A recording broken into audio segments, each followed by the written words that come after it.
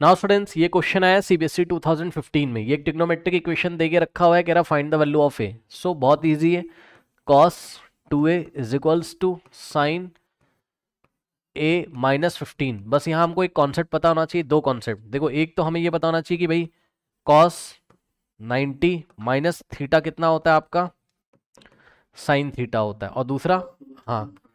Yes yes sine 90 minus theta क्या होता है? कॉस थीटा एक तो ये पता होना चाहिए और दूसरी बात ये पता होनी चाहिए कि अगर कभी भी इधर भी साइन है है ना? साइन मान लो sine theta is equal to sine five आ रहा है।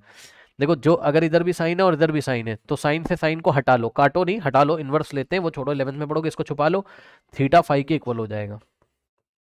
इसी तरीके से अगर इधर कॉस है, इधर कॉस है तो ये एंगल आपस में इक्वल हो जाते हैं। मैं करके आपको दिखाता हूँ। बहुत आसान है, ऐसा भी एक क्वेश्चन मैंने कराया था, कुछ लोग ओके सो यहाँ पे देखो जरा।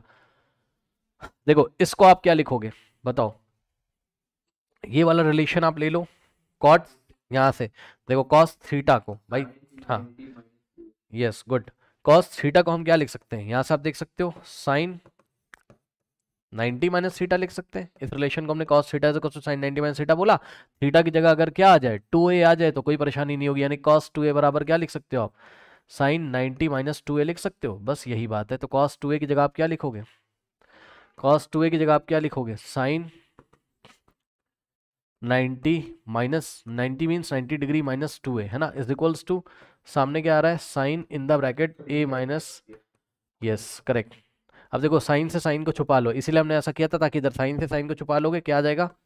90 minus two A is equals to A minus fifteen okay minus two A इधर जाएगा माइनस फिफ्टीन इधर आएगा। So 90 plus fifteen is equals to A और plus two A so ninety plus fifteen कितना होता है हमारे पास? फाइव और nine plus one ten one hundred five होता है ना? इज़ इक्वल्स टू में ए प्लस टू ए कितना होता है? थ्री ए थ्री जाके इधर डिवाइड लगा देगा सो ए की वैल्यू कितनी आ जाएगी?